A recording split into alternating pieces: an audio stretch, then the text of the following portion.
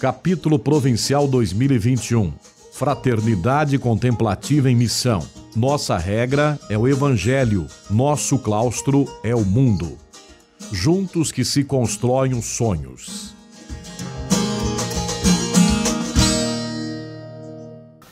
Meus irmãos e minhas irmãs, paz e bem. Nesse nosso quinto dia do capítulo provincial da província franciscana da Imaculada Conceição do Brasil, nós tivemos a eleição do nosso novo ministro provincial, Frei Paulo Roberto Pereira, natural de Juiz de Fora, Minas Gerais, e ele prontamente aceitou conversar um pouco com a gente. Então a gente vai aproveitar aí essa bondade, né, para conversar com ele, fazer um interrogatório aqui para que nós o conheçamos ainda melhor.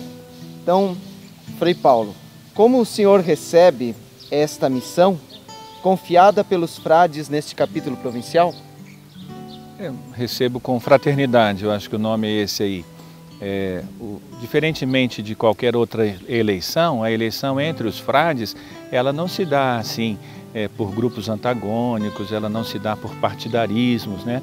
ela se dá a escolha de um irmão entre os irmãos para servir o irmão.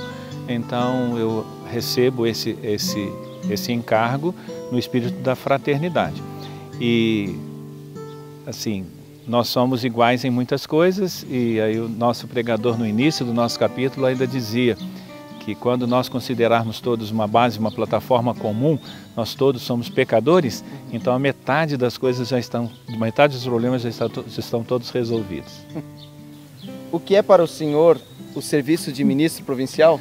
É identificado na palavra do Evangelho de lavar os pés. Ser irmão, irmão entre os irmãos e a tarefa de lavar os pés. Evidentemente que trata-se de uma tarefa também institucional, né?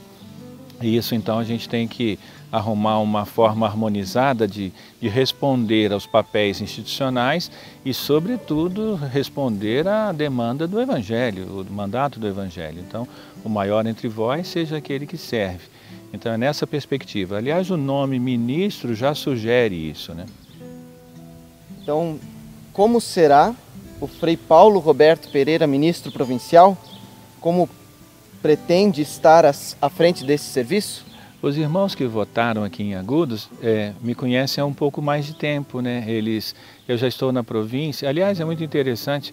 Eu entrei aqui em Agudos ainda em 83 e vindo de Minas Gerais e na minha cabeça eu queria ser padre e então fui conhecendo os freis é, na medida que eu fui me aproximando dos freis. Não conhecia, eu queria ser padre.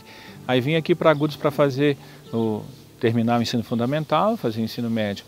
E então, logo chegado aqui, alguém dizia assim para mim: Ah, mas você é da província de Minas, você é da província de Minas. Eu falei assim: hum, o que, que é isso, né? Então, é, eu sou da província de Minas, eu não sabia do que é dessa divisão toda. Mas desde lá, então, eu aprendi a conhecer a província franciscana, a vida franciscana e os, me dar a conhecer. Então, os irmãos me conhecem e o ministro provincial não vai ser, não vai ser diferente do Frei Paulo, que até então era guardião do convento da Penha, que antes disso fui animador vocacional, que antes disso fui pároco na, na paróquia do Divino Espírito Santo, morei na Baixada Fluminense. Então o mesmo, não pode, não, não deve haver uma mudança. Aliás, eu venho de uma paróquia de padres estrangeiros, padres holandeses, padres crúzios, né? Eram todos holandeses. Uma das minhas sobrinhas, num dia que eu estava prestes a ser ordenada, ela falou assim: vocês vão tomar um... a que dia que você vai tomar um remedinho para mudar a voz. Ela imaginava que houvesse assim alguma coisa que mudasse a nossa voz, tendo passado é, pela ordenação. Então a gente passaria a falar diferente, né? Então não há essa mudança, não deverá haver, né? Nós então vamos ser, é, eu tenho certeza que como ministro eu pretendo continuar sendo o Frei Paulo Roberto. Muito bem. É, que perspectivas o senhor tem para esse sexênio? Nós vivemos um tempo de transformação, tempos agudos, tanto na igreja quanto na sociedade. E a missão do frade menor, nesse tempo, é ser instrumento, e a gente se pretendeu isso, né? Ser instrumento da bondade, ser instrumento da conciliação, da reconciliação. Então eu tenho certeza que os próximos anos terão essa marca a marca da conciliação, a marca da reconciliação, curar as feridas. é, tivemos só no Brasil uma mortandade muito grande por conta de tantas coisas, sobretudo da desinformação, do desinteresse pela vida, do descaso pela vida. Mas essa não é a maior doença. É, a partir da doença Covid, outras tantas doenças surgiram e reclamam de nós cuidado. Então, na igreja, na sociedade, onde, está, onde estamos, e nós, os frades, estamos em muitos lugares e em todos os lugares nós deveremos ter a missão da reconciliação. É, quais os principais desafios que o senhor vê nesta fraternidade provincial, especialmente com a atual realidade vocacional? É, é uma reflexão que nós estamos fazendo aqui nesses dias, né? E os desafios estão postos. É preciso um diagnóstico é, que não nos faça isentados. É, nós todos estamos envolvidos nos problemas e aí então parece trágico, mas não, nós todos estamos envolvidos com a possibilidade de solução. Então, é, eu acredito que a questão seja essa, o nosso envolvimento, assim, a qualidade do nosso engajamento, a qualidade do nosso envolvimento. Os problemas de um frade, eles são de todos os frades. Então esse senso de fraternidade é a nossa marca e é por isso que a gente pode caminhar com esperança. Né?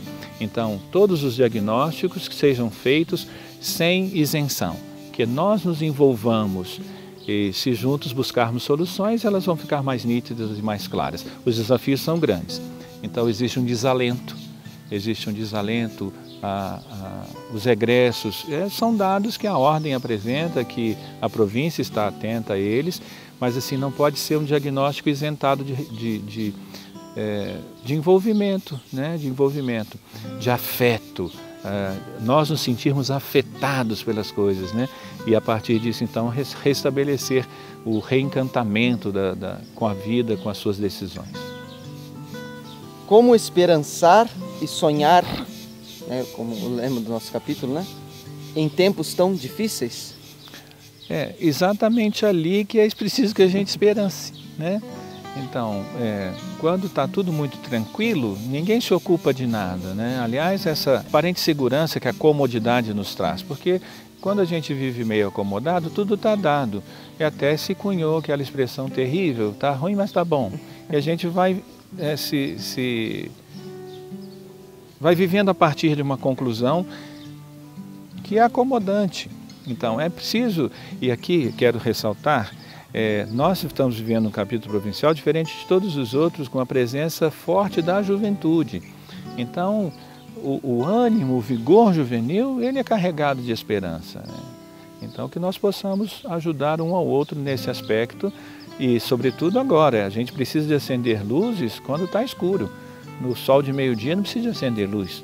Então, se, se a escuridão tema, teima em, em, vir morar conosco, que sejamos luz. Acho que o tempo é oportuno.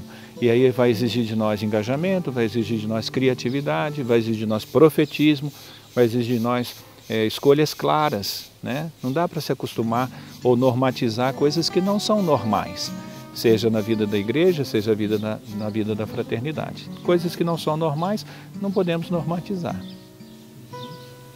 É, esta missão coincide com o pontificado do Papa Francisco. É uma bênção ter ele como animador do carisma franciscano, não? É verdade, e nós não podemos jogar fora essa oportunidade, né? A bênção de Deus, a graça do Senhor nos concedeu né, o Papa Francisco como dom.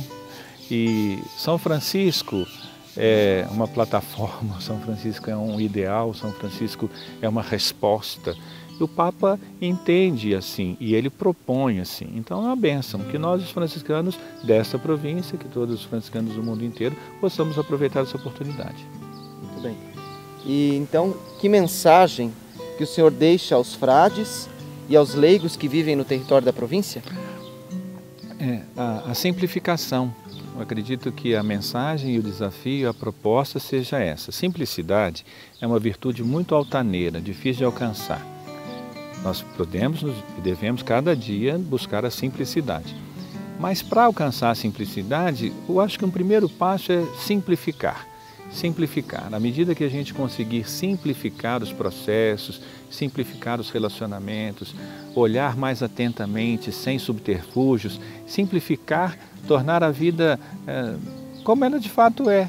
Então, a simplificação dos processos e a simplificação dos relacionamentos. Eu acredito que assim, se nós nos dedicarmos a isso, com certeza nós vamos alcançar a simplicidade.